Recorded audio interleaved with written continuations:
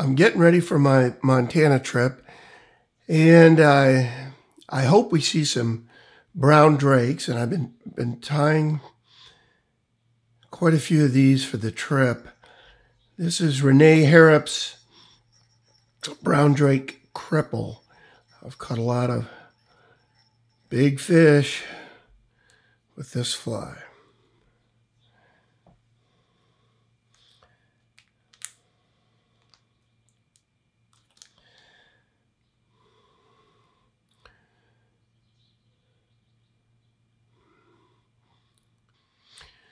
Just like Renee Harrop's Last Chance Cripple PMD, uh, this fly has a wood duck flank feather tail and uh, some rusty dubbing, like a rusty dubbing shuck over that. All his cripples are a, a, a similar design.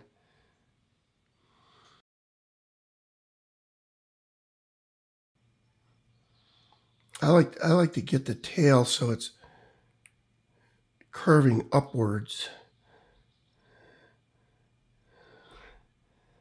Yeah. Close enough. Notice I started at the uh, about the one quarter mark.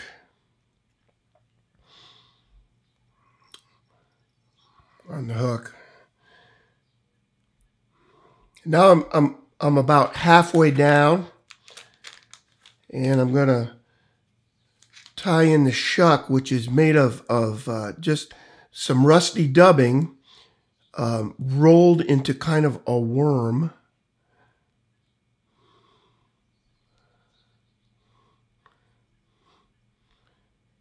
Double it back.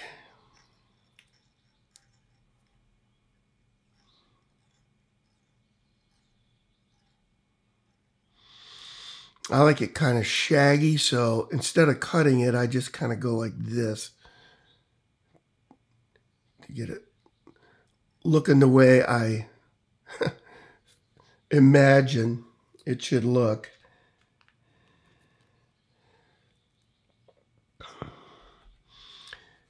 The next thing, the body is is made up of a um, turkey biot tannish yellow.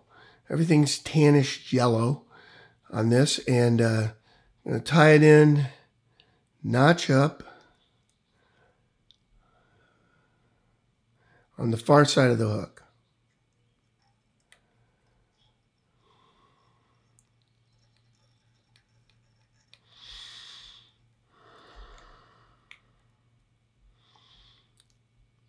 It's a little fragile. I'm going to start with it by hand.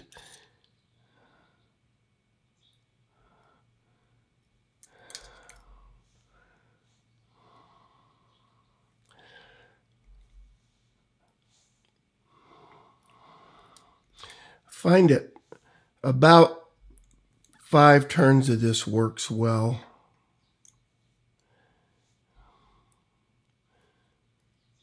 In this case, six.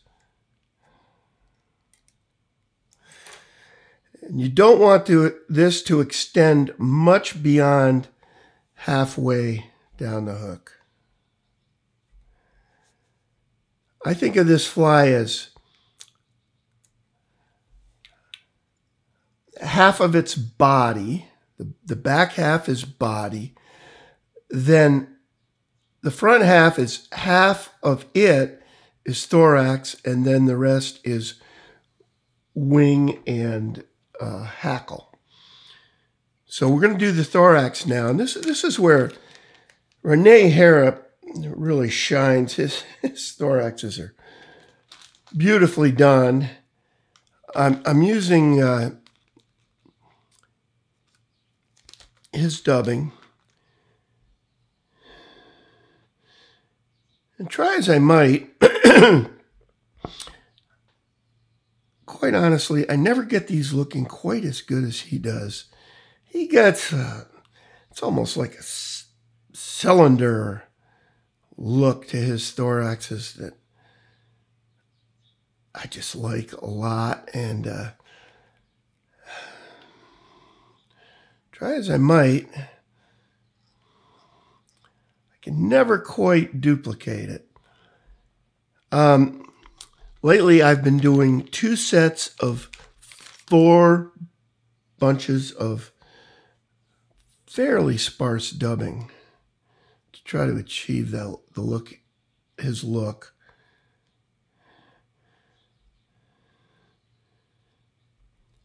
He dubs left-handed, so I always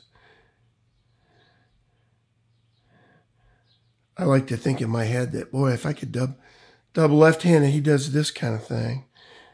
If I could do that, I could get that look he gets. And of course, that's that's crazy talk. Anyway, I'll go with this. Now, I don't have I, I'm I've been tying these with really dark wings because I've seen some large brown drakes the last couple of years with very almost black wings, and I didn't have any Harrop Dark dun. Um, actual Harrop brand, which is the best CDC out there, especially for for these. So what I've been doing is I've been taking um, some not so hot CDC and, and tying on, tying in four of them, pairing them up.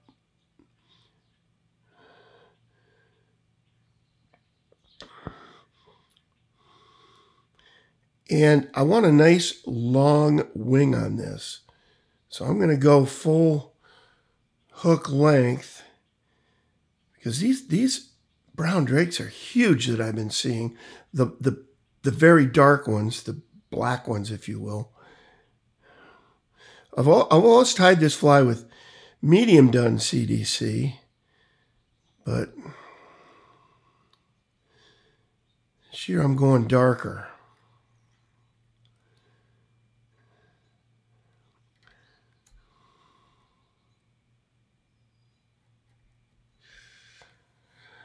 Now I took I took turns back into the thorax there. I don't know if you noticed that. Um, I really want this butted up against it, and I want to want to be sure I have room for my hackle. And I'm also going with large hackle. Um, this is a size 10 3x long hook. And I'm going with every bit of size 10 with the hackle. And this is hackle I've dyed myself, kind of a, a tannish brown as well.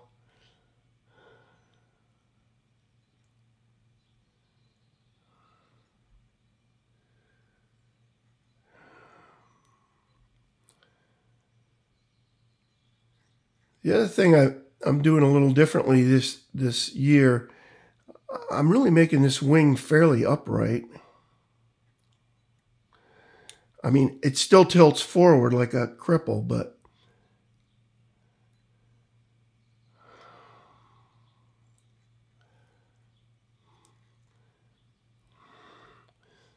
about like that. Looks looks like the some of the flies I'm seeing on the water. And I just I don't want this hackle to be overdone. I'm going to do 3 turns. There's two. There's three. And right now, I'm just in front of the wing. Now I'm going to go behind the hackle, in front of the hackle, behind, in front, and behind. Then I'll take one turn in front of the, the wing and do a whip finish.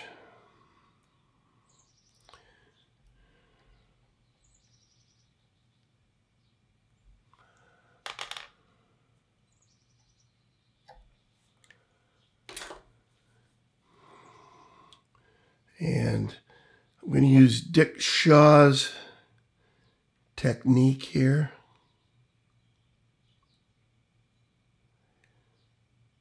Shove that through like that just open the scissors a little bit, hold the the hackle under tension, and just shove that through.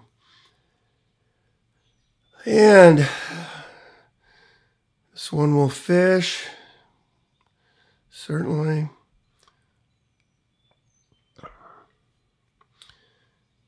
And that's all there is to that fly.